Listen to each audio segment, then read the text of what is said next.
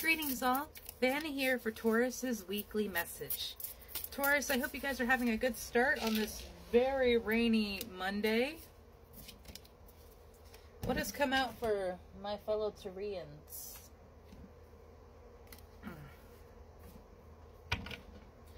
Shifting in power, I see. We have the two, I mean, the, the High Priestess in reverse. I'm about to say two of Major Arcana, which technically it is. We have the Three of Wands and the Seven of Swords. Moving on from situations that seem very sus. New beginnings, new alignments, and the potential of moving on from something without the fear of questioning people's morals or motives because that is something that can very quickly turn not just a situation but an entire relationship. Being able to trust someone is so important, especially for my fellow Taurians, who so much of our sense of security is grounded in our physicality, in our home, in ourselves, and the people that surround us.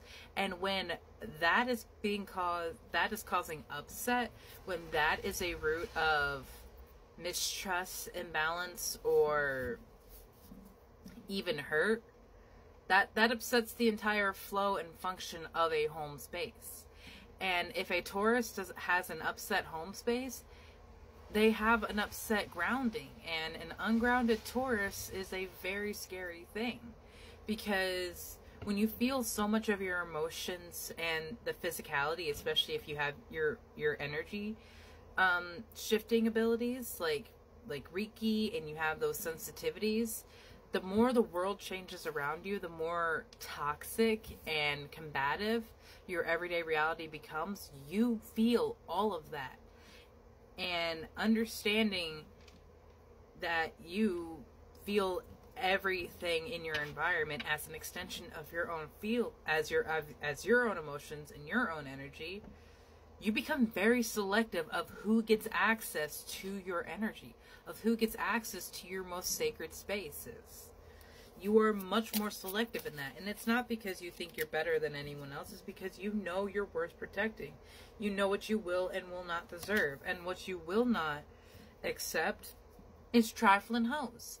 It's people who make you doubt yourself, make you doubt your power, your worth, or what you can do, make you feel like you do not deserve happiness, make you feel like you do not deserve love or support. Hmm. yeah. These people have been trying to choke out what you are trying to create for yourself, by yourself. And sadly, it's so often because they feel like they want to be involved in it because they feel like they could get rewards from it or that they simply don't want to see you succeed. So they're going to do everything in their power to make you fail because they know that they wouldn't be able to do it. And it's a lot easier to make you fail than to do the work to make themselves succeed. You have confidence is the key to your success. New Moon and Leo. I love that we were just talking about success over failure. Your confidence, your pride in yourself and your abilities your commitment is being tested. First quarter moon. And there there will be points where spirit is testing you. There that, that will always happen. Testing you whether you will go back to and accept the same old situation. Testing where there, you have learned from an addiction or a situation whether you have learned what you needed to learn to to not be fooled. Pardon, excuse me, coffee burps. Like I said, very rainy day. Took a lot of energy to actually feel like I wanted to do anything. But even that, with the commitment being tested, I could have easily said, you know, I don't feel like doing the readings today.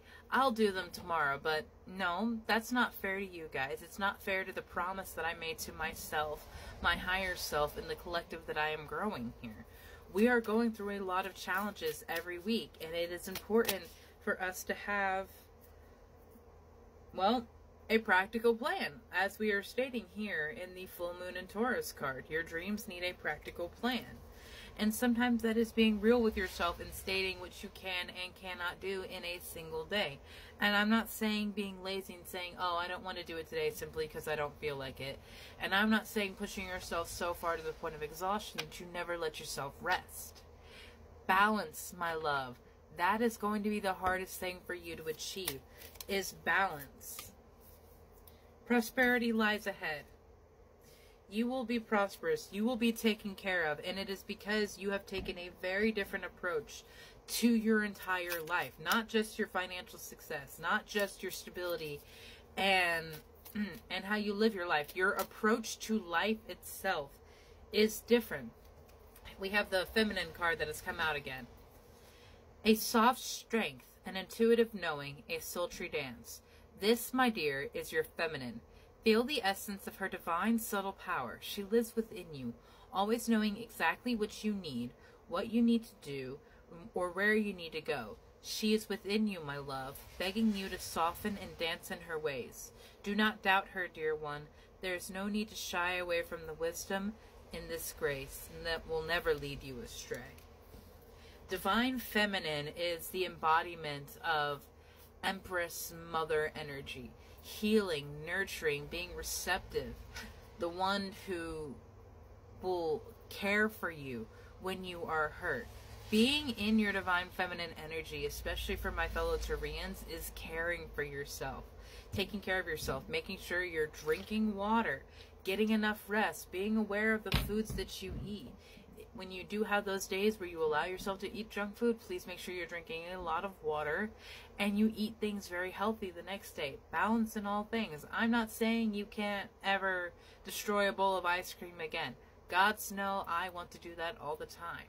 But I also want to make myself a healthy vessel so that I can become a mother one day because that is very important to me.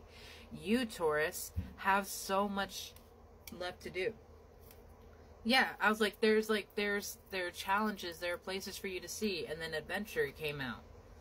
You can feel it, can't you? A gentle tug here, a soft push there. The steady whisper of adventure humming deep within your belly, begging, begging you to come dance with it. What are you waiting for? Make the change, take the risk, embark on the journey. You were never meant to thrive within anything else, but that which makes your soul come alive. And I love that dancing came up twice in these two cards because dancing is such a wonderful way to express and share your energy from your own body, from your own vessel. When you look at dancing and body movement as energy movement, as Reiki, you can see very quickly how your movements are directing the flow of energy around you. And when you know that, there is very little that you can't do when you are aware of how you direct energy, you become a fucking avatar for spirit. You become a conduit, a vessel, a channel to direct, protect, and reflect.